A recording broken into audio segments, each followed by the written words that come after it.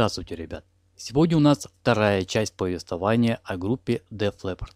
В прошлой программе я обещал вам рассказать о фильме «Hysteria the Def Leppard Story» фильм «Истерия». Признаюсь, в юности я вообще не знал о существовании такого музыкального коллектива, как Def Leppard, с такой необыкновенной и будоражащей историей. Но теперь, просмотрев фильм, с удовольствием исправлю свои ошибки. Ссылку на этот фильм мне дал один приятель, и признаюсь, я так засмотрелся, что забыл о всех своих делах и планах. Эта картина рассказывает о том, как можно стать всемирно известным. Только захотите ли вы этого сами, просмотрев данную картину, узнав, сколько всего выпало на роль чуть ли не каждого участника команды. Начинается фильм с небольшого отрывка. Молодой парень с симпатичной девушкой курнули за рулем, после чего первого потянуло показать, насколько он крут, подрезавшему его водителю – Действие заканчивается автомобильной катастрофой. После этой не очень приятной заставки мы видим наконец саму картину. Не стану описывать даже вкратце, потому что интересно по своему каждая деталь фильма, но суть такова. Рабочий завода мечтает о своей рок-группе, и случайная встреча с одним гитаристом в корне изменила его судьбу.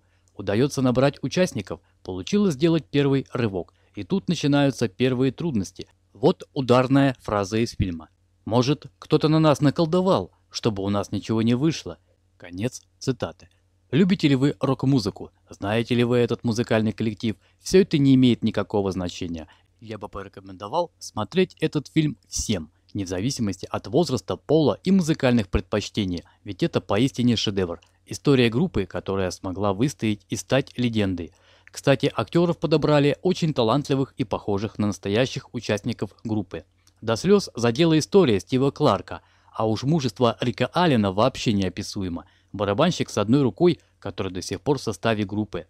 Любая начинающая рок-группа уверена, что когда-нибудь сможет завоевать мир. Но в действительности это удел избранных счастливчиков. Что нужно для этого, чтобы стать идолами для миллионов? Хороший материал, который зацепит как искушенного меломана, так и обыкновенного подростка с улицы, отличный продюсер с отменной интуицией – практичный и честный менеджер, стопроцентная сыгранность и безошибочная музыкальная техника, эффектное и броское концертное шоу и, самое главное, беззаветная вера в то, что ты делаешь. У ребят из группы Def Leppard все это было. Пятерым паренькам из провинциального Шеффилда, создавший свой ансамбль, и в конце 70-х удалось сделать свою реальную мечту. Теперь их имена знает каждый поклонник рок-музыки. Джо Эллиот, Рик Сеф Сэвидж, Стив Кларк, Рик Эллен – и Фил Коллин. И за славу, как известно, нужно платить. Def Leppard заплатили за свое место в истории самую высокую цену, которую можно себе представить. Итак, вам, ребят, предстоит увидеть настоящую историю настоящей рок-группы. Историю группы, в которой играет самый знаменитый в мире однорукий барабанщик. Историю группы, которую постигло такое количество несчастий, которое не выпадало на долю ни одного коллектива рок-истории. Историю группы, которая смогла выстоять и стать легендой.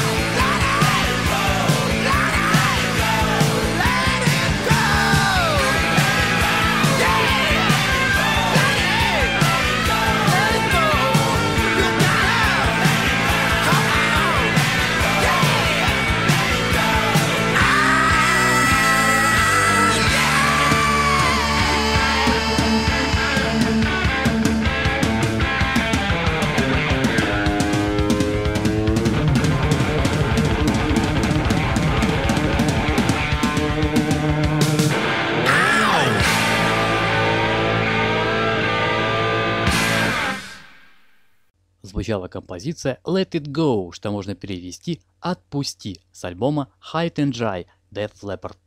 Прежде чем приступить с того места, на котором мы остановились, давайте-ка заглянем на наши результаты еженедельной рубрики «На засыпку». В прошлый раз я задавал вам вопрос, как настоящее имя Джин Симмонса из группы KISS.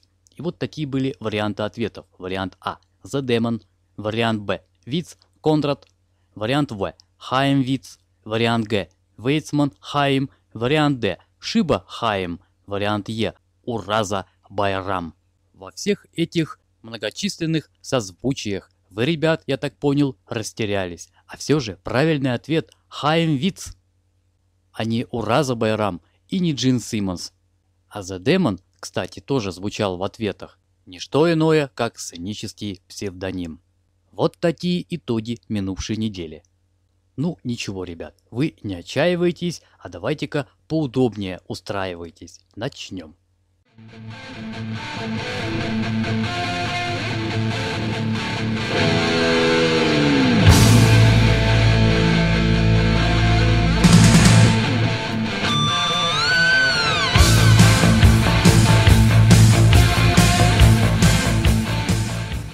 Сегодня вопрос будет так же прост, как стихи группы Celtic Frost. Как первоначально группа Ван Хелен называлась? Вариант А – Джина, вариант Б – Джедай, вариант В – Genesis, вариант Г – Джулиет, вариант Д – Джови. Примечание. Бон Джови здесь не имеется в виду.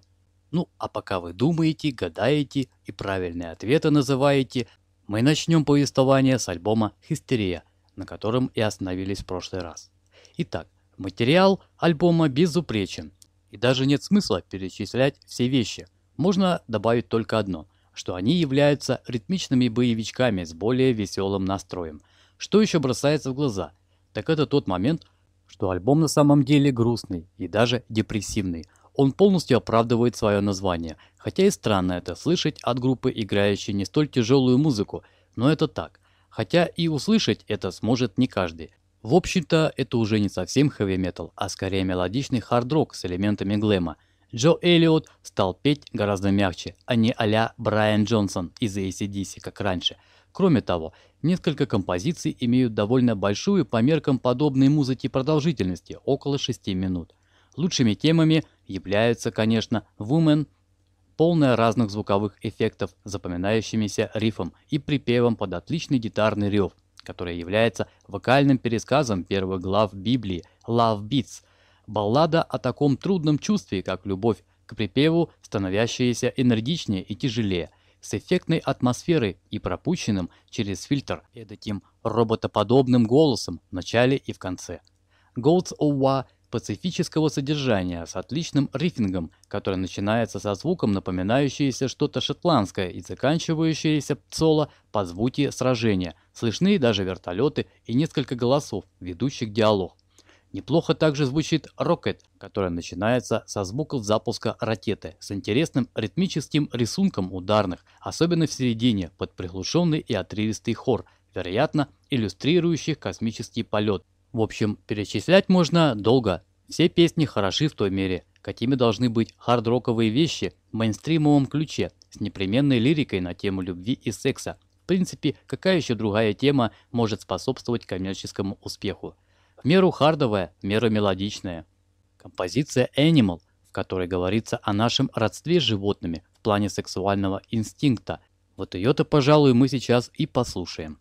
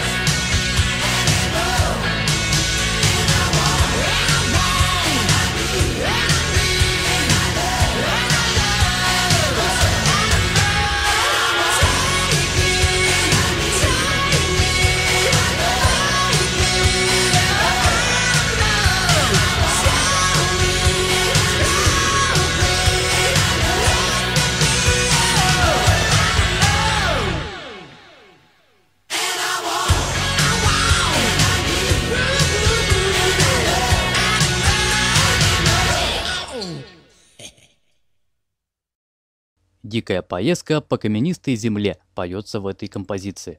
Такая жажда жизни. Цирк приезжает в город. Мы голодные. На молниеносный рейд. Также бежит река, как огонь нуждается в пламени. Ох, я весь горю. Я должен чувствовать это в моей крови. Мне нужны твои прикосновения, мне не нужна твоя любовь. И я хочу, и мне нужно, и я жажду, потому что я животное, и я хочу, и мне нужно, и я жажду. Волк-одиночка воет, как учащенное сердцебиение в колдовской час. Я убегу с ветром, день в пыли. С этим альбомом The Leppard, сами того не зная, ребята создали кардинально новый жанр – авангардный поп-метал. Это не Motley Crue или Poison, это свой собственный стиль, стиль The Leppard. Woman – первый трек, мелодичнейший припев, который запоминается с первого раза, и за ним следуют такие же здоровские композиции. В меру культово, в меру тяжело, в меру забойно, и, конечно, вокал Джо в этой музыкальной палитре подошел четко. Многие считают, что данный альбом никакого отношения к хэви не имеет, однако ничуть не портит его. Успех группы Великобритании привел к номинации на премию Brit Эвертс в категории «Лучшая британская группа». В октябре 1988 года баллада Love Beatles достигла вершины чарта Billboard в горячей сотке – поддержку альбома Def Leppard организовали 14-месячный тур, который закончился Memorial Arena в Сиэтле в октябре 1988 года. Любопытно, что никому из пролетарских героев феномена, известного как New Wave of British Heavy Metal, не удалось звучать так стопроцентно по-американски, как шеффилдским парням из Def Leppard, что собственно и позволило им продать за время своей карьеры более 100 миллионов дисков – Две пластинки «Пиромания 83-го» и «Хистерия» являются одними из самых успешных в истории релизов в рок-жанре. Кстати, в настоящее время гитарист Def Leppard Фил Коллин выпустил мемуары. По словам вокалиста Джо Эллиота, Def Leppard, когда дебютировали с альбомом On Trout the Night в 80 году, не ожидали, что пик популярности этой команды придется на 84 и 89 года – когда вышли их платиновые альбомы «Пиромания» и «Хистерия». Синглы с диска «Хистерия» оказались наиболее успешными за всю их карьеру. В 1995 году они были занесены в Книгу рекордов Гиннесса как единственные исполнители, выступавшие на трех континентах в течение одних суток – Лондон, Геркулесовы пещеры и Ванкувер. А мы слушаем песню «Woman». В ней поется вот что. В самом начале Бог создал землю, затем Он создал воду и существ – Потом он создал мужчину. Он был рожден со страстью, любовью и ненавистью. Беспокойный дух, нуждающийся в паре. Но там было что-то упущено, что-то утеряно. Он пришел с ответом. Бог ему дал частичку любви, частичку свободы, частичку леди, частичку ребячества. Я дам тебе женщину, много прекрасных женщин. И вот в саду началась похоть, животный инстинкт, распутный мужчина, а она утолила его голод с аппетитом и переполненный эмоциями он взял кусочек ее. Кожа к коже, и пусть любовь начинается.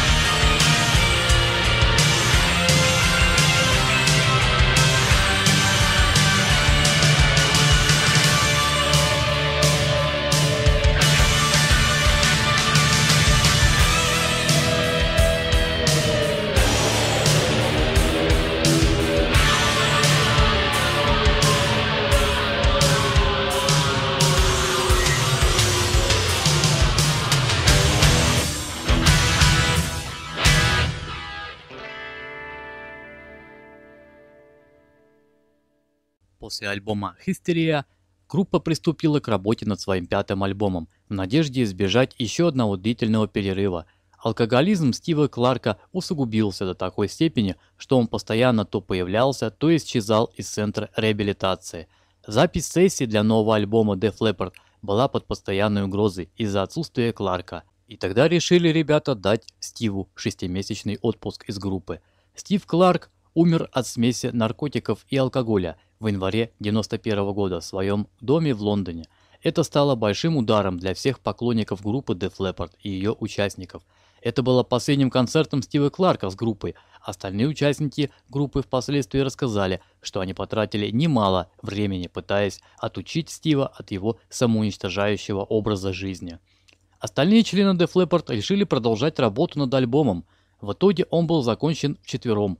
Фил Коллин играл за двоих, подражая стилю игры Кларка. Стив Кларк умер, и пластинку закончили и выпустили без него. Но вот теперь, когда подоспела пора всемирной гастролей, пустующее место надо заполнить новым бойцом. Известно было, что наиболее вероятный кандидат – это Вивиан Кэмпбелл, хотя и другой блестящий гитарист Эдриан Смит из Iron Maiden приходил в Def Leppard на репетицию и тоже играл с ними. «Когда мы взялись за почти невозможную задачу замены Стива Кларка, — сказал певец Джо Эллиот, — требования к новому гитаристу были простыми. Нам нужен был музыкант с английским паспортом, с хорошей гитарой, с приличным голосом и добродушным характером. Все эти качества у Вивиана Кэмпбелла превзошли все наши ожидания. Мы нашли прекрасного музыканта, великолепного певца, добродушнейшего человека, у которого к тому же не один, а целых два паспорта, английский и ирландский. Ну, что еще надо? Пятый альбом назывался «Adrenalise», был выпущен в марте 92 года. Данный альбом стал альбомом номер один в чартах Великобритании и США. Первый сингл «Let's Get Rocket» мгновенно стал хитом, затем команда Def Leppard записала на него видеоклип в 92 году – который сразу же попал на MTV Video Music Awards, где он номинирован на лучшее видео года. Кстати, название песни Let's Get Rocket можно перевести следующим образом. Давай зажигать. Ты хочешь зажечь? Давай, давай зажигать, поется в данной песне. Я твой обычный ежедневный ребенок. Счастлив не делать ничего. Собственно, вот что я делаю. У меня есть миллион способов, чтобы сделать мой день. Но отец не согласен, потому что когда я пытаюсь уйти, он говорит, что у него есть планы на меня. Тащи свою задницу из кровати. Перестань надоедать мне. Вставай и встряхни свою сонную голову. Не трогай меня. Он говорит, подстриги газон. Кто? Я? Погуляй с собакой. Не в моем стиле, чувак. Выброси мусор. Не, не сегодня. Уберись в комнате. Да ладно, серьезно. Извини, папа, я должен исчезнуть. Давай зажигать в другом месте. Семь выходных в неделю, тусоваться всю ночь. И под конец держись крепче. Это не займет минуту. Это не займет много времени. Так что пойдем, давай же. Давай, зажигай. Слушаем. Do we wanna get right?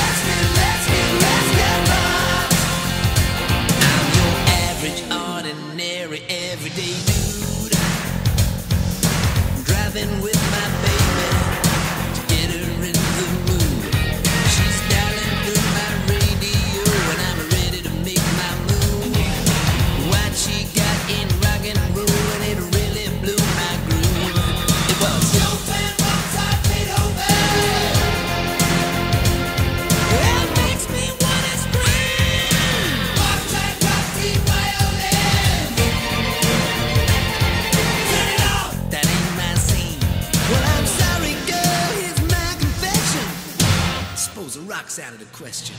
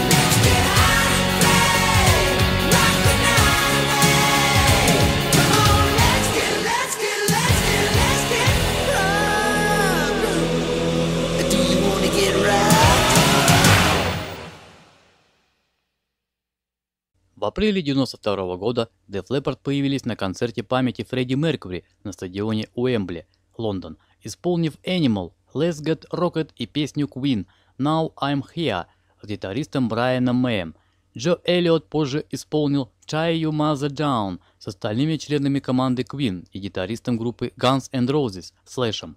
Вернемся к альбому. Здесь мы имеем коммерческий hard and heavy с уже стандартной для лепардов лирической попсовостью вокалиста. Музыка еще немножко облегчилась, но осталось все такой же хитовой. Ритмы немножко прибавили в скорости, но звучание их стало немного навороченнее и не так выразительно. Звук изменился и слегка прогрессивную сторону. Ритм-секция стала не такой четкой и более сложной, хотя и в пределах стиля. К тому же акустические гитары, связки с ритм-гитарами в такой интерпретации ранее не применялись. Это хорошо заметно, например, в композиции Tonight. Вокал Джо остался на уровне, а хоровые запевы приобрели какую-то особенность, можно сказать, печальность, которой хватало и на прошлом альбоме. В плане хитовости композиций слушателю также сильно повезло. Слабых вещей нет, к тому же все запоминается мгновенно и на лету. Материал не утратил своей разнообразности и представляется нам как шустрые и веселенькие боевички, так и медленные сильные баллады. Самой цепляемой из них является «Hear You Ever Need Someone So Bad», имеющая отличительный припев и классные соло. Данная песня, кстати, наполнена эротикой, вновь на тему неразделенной любви, с одним из лучших вокалирований Джо Эллиота. Особняком стоит композиция White Lightning, довольно длинная вещь, которая идет более 7 минут, посвященная Кэмпбеллу, поскольку название песни на сленге означает не что иное, как алкоголь. Начинается с протяжной гитары и разных зловещих звуков с вокалом, весьма напоминающим Дэйва Дилмора из Pink Floyd. И я назвал бы эту вещь отличной, но она, по крайней мере, отличается от всего остального. В том же 92 году последовало мировое турне с бывшим гитаристом группы Dio и Whitesnake Вивиан Кэмпбеллом, который был принят на место Стива Кларка. Среди гитаристов, которые были прослушаны, были также Эдриан Смит, Джон Сайкс и Гэри Хоуи. В 90-х популярность Def Leppard начала оказывать влияние появления альтернативного рока, в том числе гранж. Так появился в 93 году альбом «Ретроактив», очередной опус от коммерческих металлистов из Def Leppard. На данном диске представлены редкие и неиздаваемые ранее композиции команды, записанные в разное время. Несмотря на то, что релиз не является полноценным новым материалом, он рассматривается как студийная работа. Первое, что бросается в глаза, это увеличенная доза мрачности и депрессивности, как в утяжелившейся музыке, так и в более злобном и отчаянном вокале. Не побоюсь сказать, что это одна из мощнейших работ команды, именно в плане стандартной ритм-секции и чистых соло. Музыка так и просится наружу из динамиков. Сыроватый и грохочущий, но упорядоченный звук чем-то напоминает ранние работы команды. Вот только атмосфера здесь более угнетающая, что является несомненным плюсом. И вот вам яркий пример. Композиция Ring of Fire – Кольцо огня. Tempting me,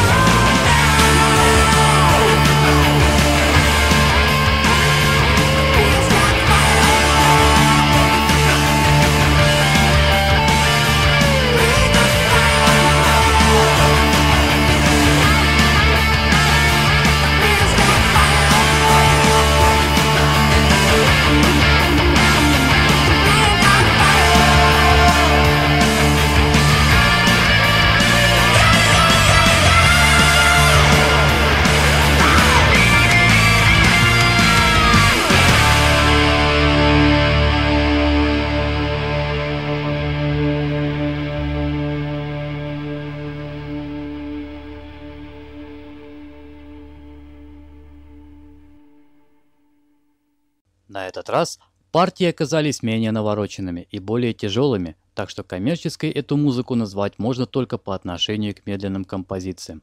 Если вкратце пройтись по вещам, то их можно разделить на три категории – среднетемповые, депрессивные, менее депрессивные медляки и, конечно же, пара добрых рок-н-ролльных забоев. Наибольший потенциал несут себе самая жуткая открывашка – Desert Song, боевой кавер-экшен, более коммерческая и мелодичная электроверсия Two Steps Behind, ну и самый, по-моему, забойный боевик с кричащим вокалом и классным припевом She is too tough. Нельзя не отметить медленный хит Miss You a Heartbeat, отличающийся особой лиричностью и красивыми текстами, как всегда о любви. Можно отметить, что настроение после прослушивания альбома остается подавленное и очень грустно на душе. Может, это и ретро в понятии музыкантов. Некоторые вещи действительно это напоминают. Но на самом деле это их реальная сущность. Музыка в действительности передает тот чернополосый период жизни музыкантов. И вот именно такая атмосфера оставляет собой отпечаток, как его оставляет несчастная любовь или там подобные вещи. В итоге можно сделать вывод, что многие неправильно поняли эту работу и по достоинству не оценили, но на самом деле она так же сильна, как и предыдущие. Несмотря на такое вот оживленное и более трушное звучание, ребята держат хвост пистолетом, и их материал в очередной раз приносит дозу кайфа слушателю. В 1995 году Рик Аллен оказался перед возможностью провести два года в американской тюрьме, после того, как он был арестован за нападение на свою жену. И вот, наконец, ребята в 1995 году выпустили альбом Vault Greatest Hits. Дождались поклонники первого официального Best Of от своих кумиров. Так как существует два варианта данного релиза. Один называется Vault Greatest Hits, а второй Vault Limited Edition. И содержат они в себе две совершенно разных записи. Но можно сказать, что это не совсем так. Первый диск содержит действительно интересную компиляцию хитов за данный период. Некоторые из вещей переиграны в более современной интерпретации, например, Rocket. На втором же диске записан очень энергичный и зажигательный концерт или часть концерта на родине музыкантов Шеффилде. Что можно сказать об этом релизе? Например, переигранные вещи звучат более коммерчески, чем их оригиналы, что воспринимается публикой неоднозначно. Музыкальные критики до сих пор затрудняются склониться в ту или иную сторону, но вот точно понятно, что диск продавался просто огромными тиражами. Единственная новая композиция здесь When Love and Hate Collide. В Америке данное слово произносится как Call то бишь «сшибать». Представляет собой красивый медляк в лучших традициях команды. После данного сборника был выпущен новый студийный альбом «Сленг», Учитывая фатальную неизлечимую ленность современных рок-звезд, попытка выпустить новый альбом всего-навсего после четырехлетней паузы воспринимается никак иначе, как неоправданная и подозрительная торопливость. Def Leppard всегда была присуща страсть к шатированию публики не столько новыми музыкальными идеями, сколько успехами на коммерческом фронте.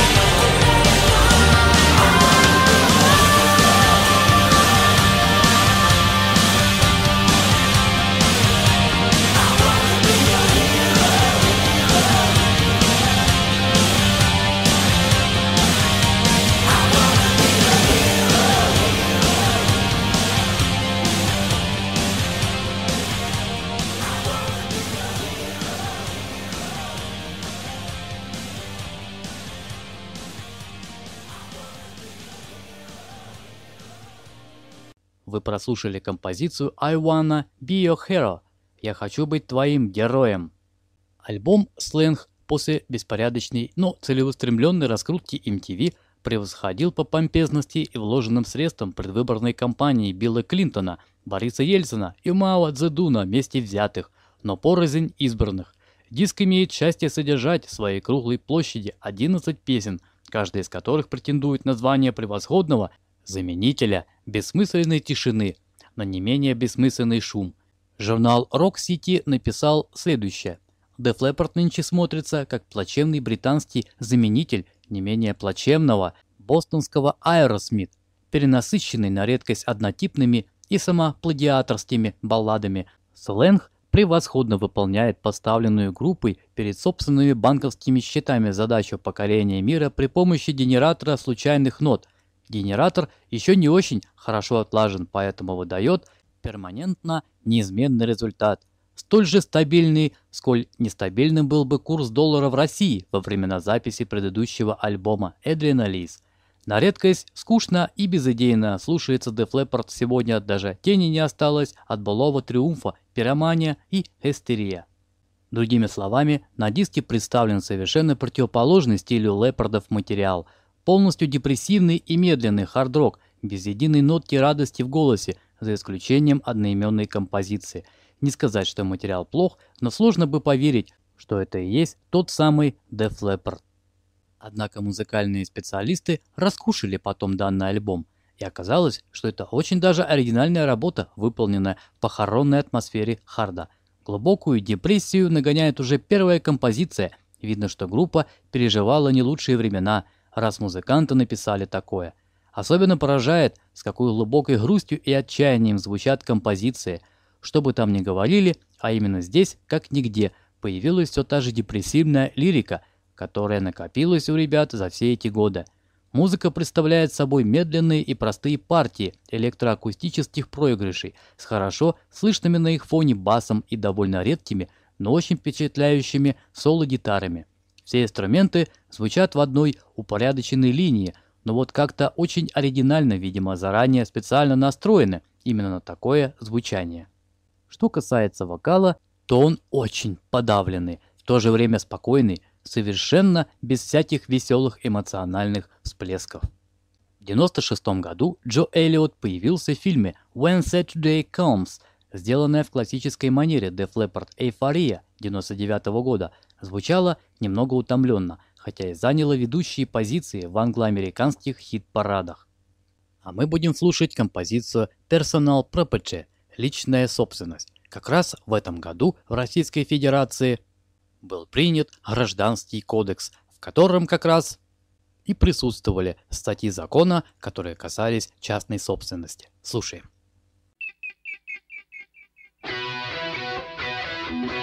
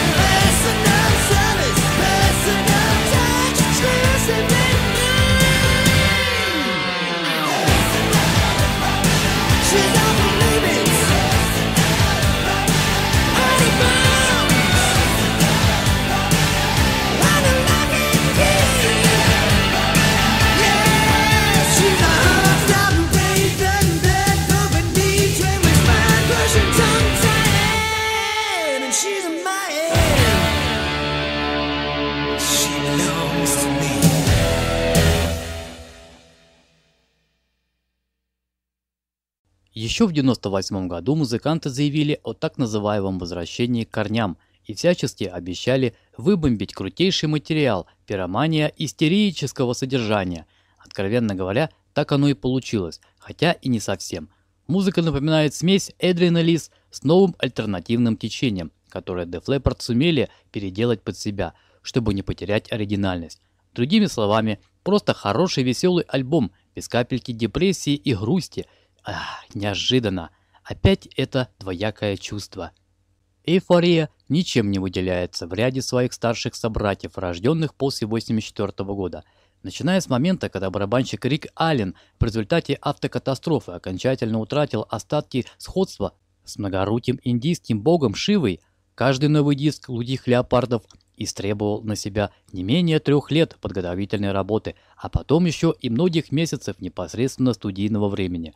Увы, 90-е годы для Def Leppard стали потерянным временем, хотя и сопливый псевдо-хард-рок того периода и продолжали транслировать по американскому радио и MTV, а личные банковские счета музыкантов регулярно пополнялись новыми бумажками зеленого цвета. Настоящие фэны тяжелого рока, как, впрочем, и настоящая металлическая пресса, попросту перестали воспринимать команду всерьез. К чести самих музыкантов, теперь они и сами не в восторге от этих бесцельно прожитых лет. Люди устали от этого убогого десятилетия, изрекает гитарист Фил Коллин. И участники Def Leppard, несомненно, тоже относят себя к числу людей, а следовательно уставших. Поэтому было принято решение записать альбом, который было бы не стыдно поставить на одну полку с классическими творениями типа «Пиромания» или «Истерия». Первое, что может намекать на сходство нового альбома с двумя вышеназванными, название Def Leppard приняли решение продолжить свою «я-диалогию», проставив на обложке компакта титул «Эйфория». Однако не лишним будет заметить, что изначальная идея была другой. Он должен был называться Def Leppard. Как известно из истории жанра, для очень многих команд именно одноименные альбомы становились чем-то грандиозным, определенной вехой в карьере. Достаточно вспомнить Black Sabbath, Led Zeppelin, Kiss, в конце концов, и незабвенная Металлика. Но британцы свою же идею похоронили, остановившись на том варианте, который бы и получили. Тем более, что еще до начала записи в качестве ориентиров были определены как раз те самые альбомы. Материала было написано видимо-невидимо, комментировал предстоящую студийную сессию гитарист Вивиан Кэмпбелл, а главное, он гораздо большей степени является плодом коллективного творчества. Здесь нельзя услышать ничего подобного, типа альбома «Сленг». Все звучит гораздо ближе к истерия, пиромания и даже High and Dry. Сленг не был типичной работой Def Leppard, но новый альбом обязательно стал таким. Данный альбом крутой. Конец цитаты.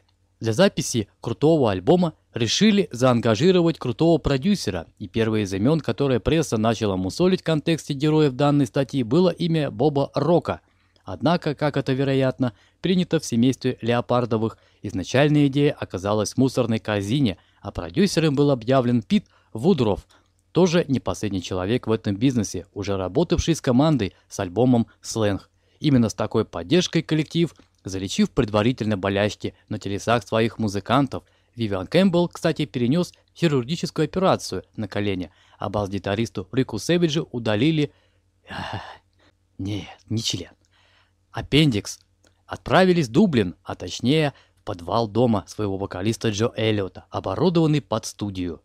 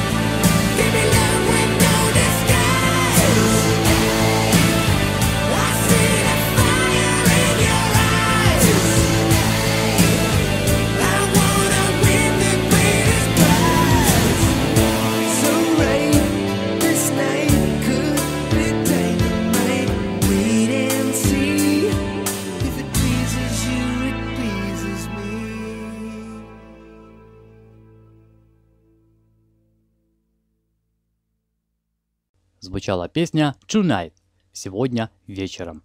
Итак, снова к альбому. Начало записи очень неудачно совпало с прошлогодним финалом чемпионата мира по футболу во Франции, поэтому вместо того, чтобы методично работать над альбомом, вся компания дружно пялилась в экран телевизора, время от времени выражаясь поэтическим языком. И в воздухе, чепчете бросая, кто-то из музыкантов даже проболтался, что моменты записи практически всех альбомов команды совпали с финалами футбольных первенств. Ну что же, в таком случае понятно, почему Def Leppard не отличается плодовитостью и скорострельностью. Так или иначе, чемпионат мира достаточно быстро завершился, и началась, собственно, запись. На этой стадии ребята доказали, что их заявление о возвращении к корням отнюдь не пустое сотрясение воздуха – Вивиан Кэмпбелл даже принес пару песен, ранее написанных им для альбома своего побочного проекта «Clock». Можно сказать, эти песни «Goodbye» и «To Be Alive». Более того, в конечном счете не обошлось и без участия легендарного продюсера по имени Роберт Джон Мэтт Лэндж, более известный у нас как Ланг, в свое время сделавший и пироманию, и истерию. Ланг выступал соавтором трех новых песен, постоянно был на телефонной связи, консультируя своих бывших подопечных, а однажды, направляясь по своим делам в Швецию, даже выкроил несколько дней и лично поприсутствовал в студии. Еще одним интересным моментом стало участие в записи альбома специально приглашенной звезды. И как вы думаете, кто? Нет, не Стас Михайлов.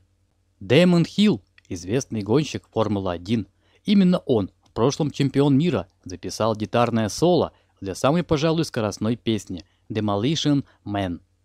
И здесь остается только удивляться, почему на запись не пригласили Дэвида Бекхэма или Майка Тайсона. А может даже, с чем черт не шутит, Кличко? Как полагается в таких ситуациях, сроки выхода альбома неоднократно назначались, а потом переносились. Изначально планировалось выпустить диск летом 98 -го года, потом остановились на финале того же года, потом сочли разумным подождать до весны. Ну а там уж и июль был не за горами – за это время Вивиан успел стать папой, ну, конечно, не римским, а вся группа съездила в Дели, где получила награду азиатского телеканала Camel и массу острых ощущений от езды по улицам столицы Индии. Вскоре после этого, а именно 16 марта, Def Leppard были приглашены в Нью-Йорк на церемонию вручения бриллиантовой награды Американской ассоциации производителей грамм-записи, которой они удостоились, имея в своем багаже альбом проданный тиражом свыше 10 миллионов копий. Если быть точным, тираж «Истерия» составил 12 миллионов. Кстати, помимо Def Leppard, в списке награжденных были такие артисты, как ACDC, Boston, Bon Jovi, Guns N' Roses, Elton John, Кэмми Роджерс, Led Zeppelin, MC Hammer, Metallica, здесь стоп и другие. А мы слушаем песню. Давайте-ка что-нибудь старенькое. Например, с альбома High and Dry вот вам песня Lady Strange – «Странная дама».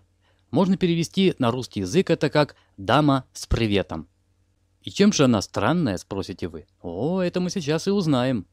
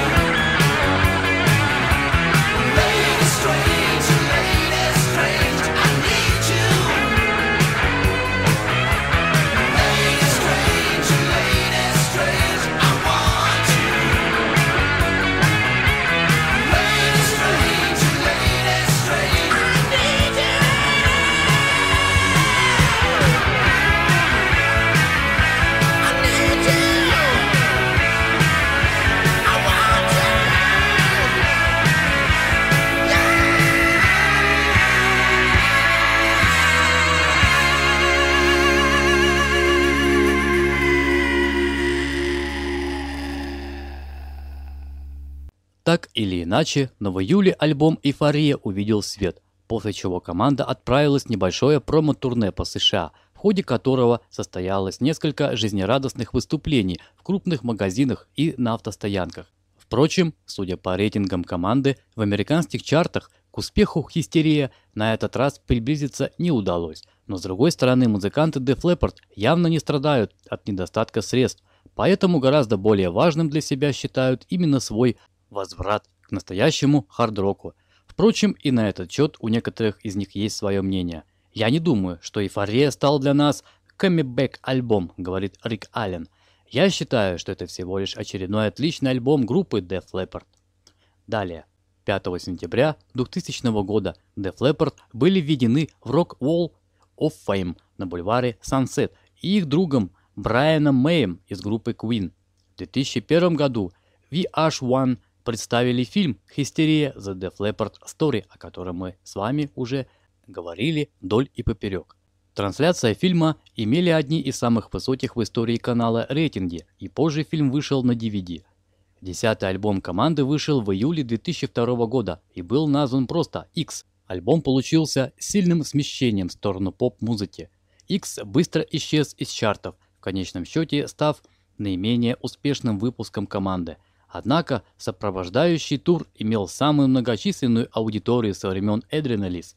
Команда отыграла 151 концерт, впервые посетив Латвию, Литву и Россию. Опять же, заранее за год до выхода альбома ребята заявили о работе над новым альбомом. В этот раз десятый альбом ожидался с огромным интересом со стороны общественности. От ребят ждали чего-то такого эдакого. С продолжением эйфорийской темы. Альбом таким и получился. Все та же оригинальная эйфорийно-альтернативная смесь с увеличенной дозой медляков и имеющая более сплоченный звук. Музыка содержит немножко большую долю акустики в связке с теми же альтернативными ритмичными партиями, которые мы уже слышали на прошлом альбоме. Среди вещей больше всего обрадовала интересная хитовая композиция «You're So Beautiful», грустноватая и драйвовая «Fall Let World» вообще вне конкуренции. Однако состарившиеся фэны этого коллектива вряд ли испекут леопардом торт к этому юбилею, так как от корней ихнего стиля за это время абсолютно ничего не осталось. Вместо этого квинтет барахтается в болоте из затхлой балладной поп-каши, которая, возможно, удовлетворит приверженцев ранних произведений Брайана Адамса, а тем фэнам, которые знакомы с Def Leppard с первых дней и их существования, просто вышибает мозги. Альбом X является альбомом, который втирается в доверие публики мейнстрима и при этом сжигает все мосты к прошлому этой команды. С хард-роком или тем более с хэви-металлом 14 вещей диска не имеют совершенно ничего общего. Собственно говоря, жаль. Потому как на последней пластинке группы Эйфория было три, четыре трека, которые излучали старый флэр и давали надежду на новое восхождение в этом направлении. Thank you.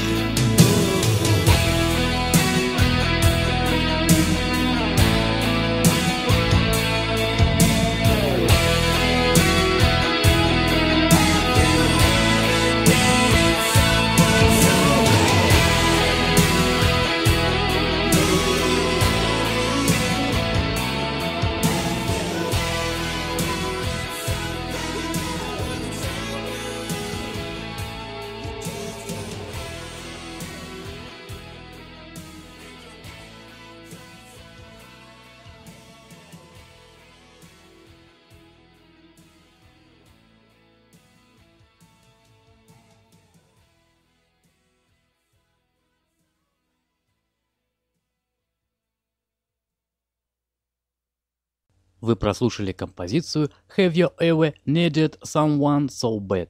Когда вам хреново, вам обязательно кто-то нужен.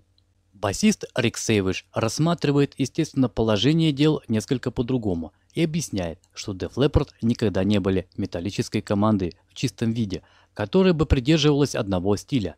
Нет проблем, если бы при этом не выплывало более дюжины песен, которые едва ли можно было превзойти по спокойному однообразию форм.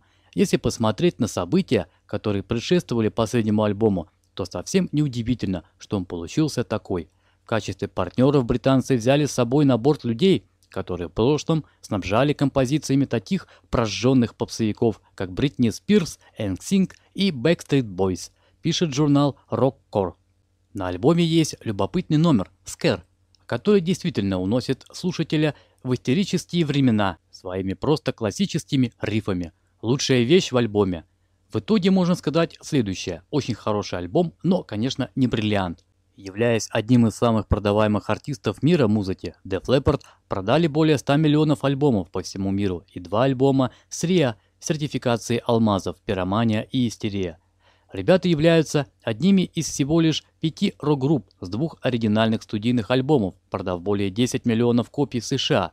Команду отнесли в номер 31 в H1 100 величайших исполнителей тяжелого рока, где она занимает номер 70 из 100 величайших артистов всех времен. Далее ребятишки накатали концертный альбом Mirror и прокатились по миру в поддержке данного альбома. 23 мая 2006 года Def Leppard выпустили альбом кавер-версии, названный «Ях». После прослушивания такое впечатление, как будто ребята просто в недельный срок записались и сразу же кинули это на прилавке с целью срубить бабла. Даже если воспринимать вещи просто как прикол и не относиться к ним серьезно, то все равно имеется доля скучности и неинтересности. Песни, как правило, не хитовые и до предела стандартные, почти без фирменных соло, не говоря уже об оригинальном лепардовском звучании. Выделить, правда, пару-тройку треков можно. Например, рок-н-ролльный прикольчик Блонди «Handing on the Telephone» с классным бэк-соло на заднем плане, а также хитовым текстом.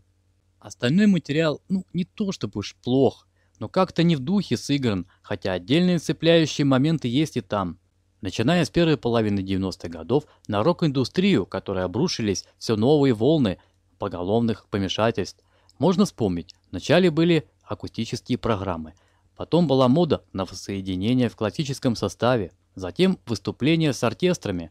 А вот еще одна тема дня – перепевать песни тех, кто когда-то оказал влияние. Именно такую работу и представляет собой одиннадцатый диск Def Leppard «Ях».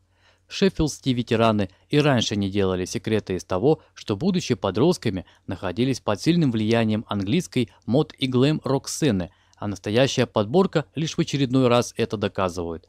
Свою дань уважения леопарды отдали таким грандам, как Kings, Facer, T-Rex, Дэвид Боуи, Sweet, Yellow, Roxy Music, Free, Tin Lizzy и еще паре тройки не менее именитых имен.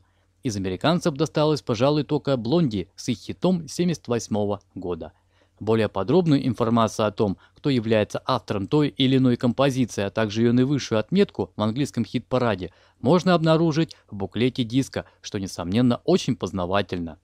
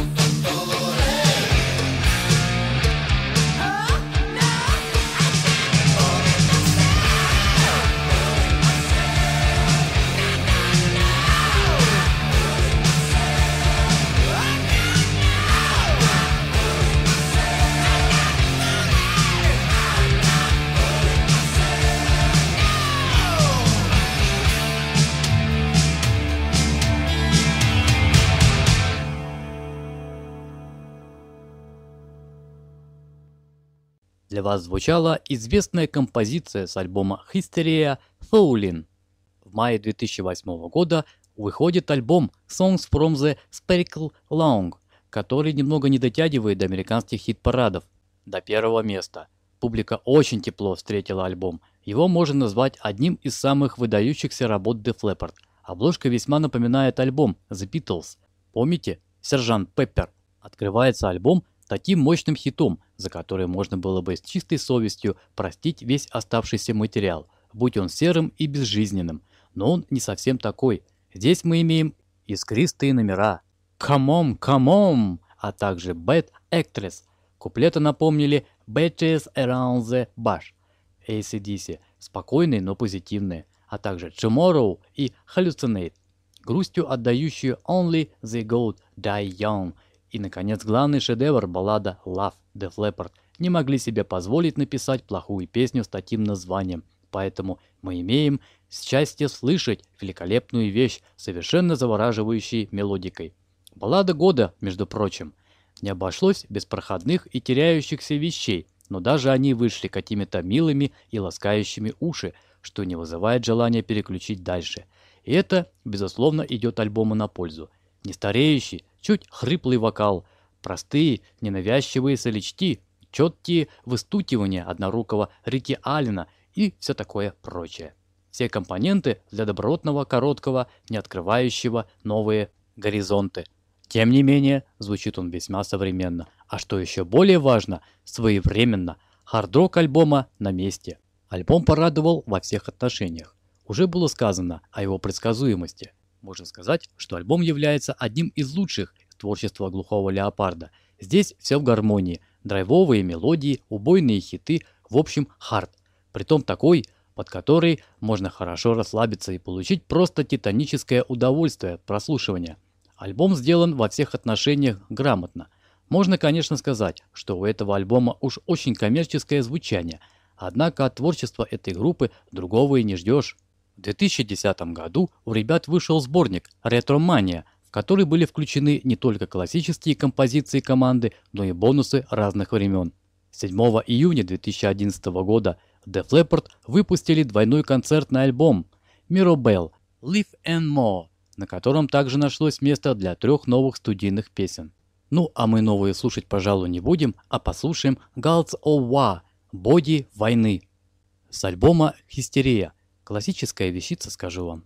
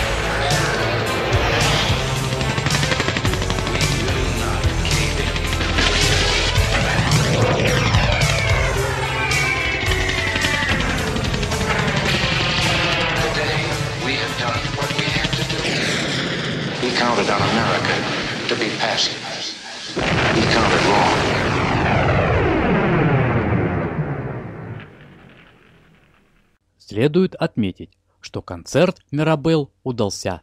Звук мощный и напористый, несмотря на всю мягкость музыкальной составляющей леопардов и главным образом рифов.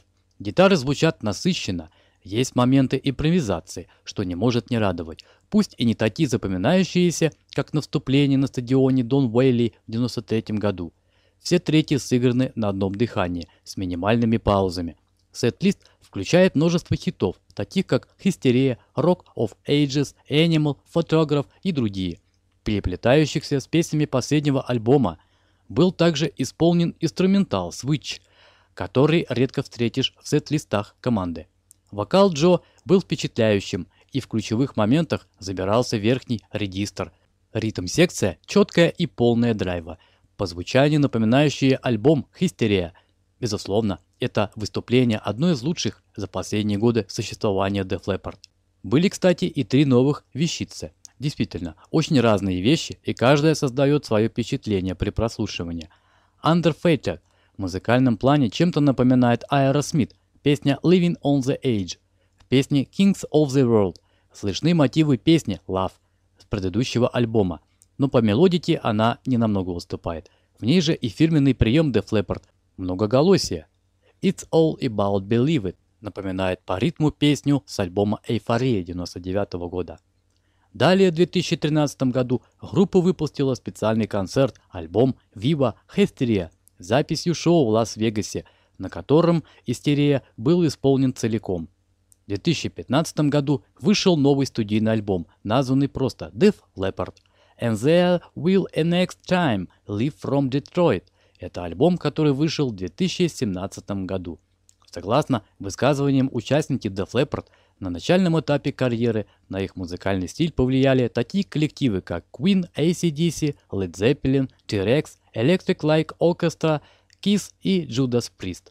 Музыка Def Leppard представляет собой смесь хард-рока, аор, попа и хэви-металлических элементов с многослойным гармоничным вокалом и мелодичными гитарными рифами. Пишет журнал Metal Hammer.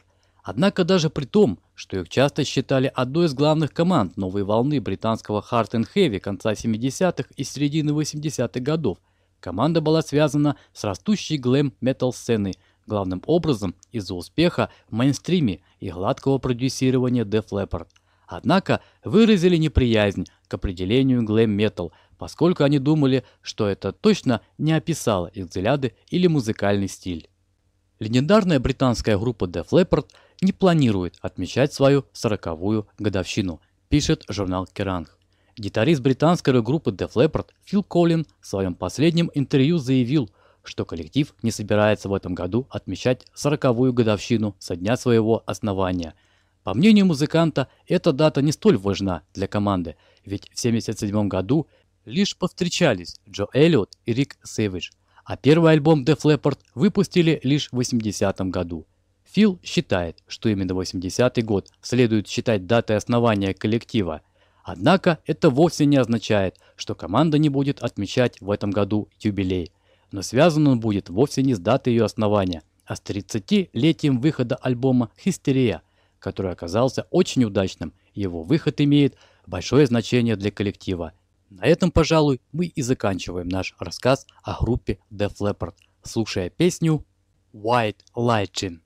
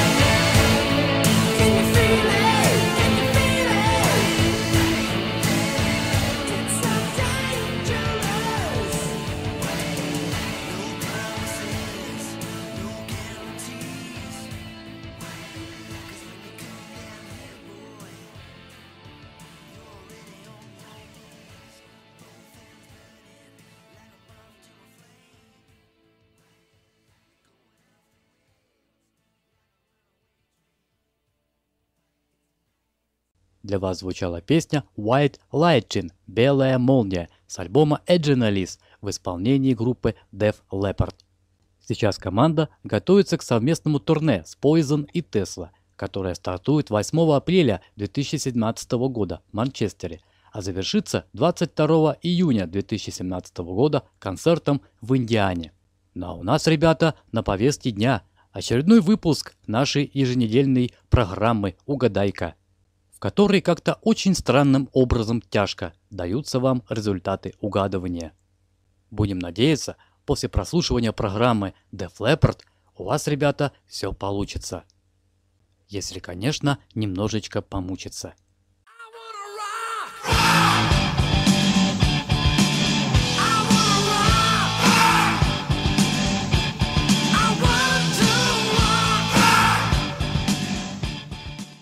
Прошлом выпуске, ребят, отгремел фрагмент композиции Living in the World с альбома Kingdom of the Night команды Axis.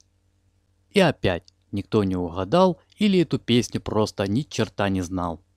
И чтобы вас заинтересовать, решил я вам подарок крутой дать. Пластинку «Черный кофе» «Переступи порог» я подарю тому, кто знает толк и знает, что к чему. Напомню, по фрагменту композиции, которая сейчас будет звучать, вам необходимо угадать, что за исполнитель и композиция будет сейчас звучать. Правильные ответы необходимо отослать по адресу нашей электронной почты собака А я, ребята, вас не подведу.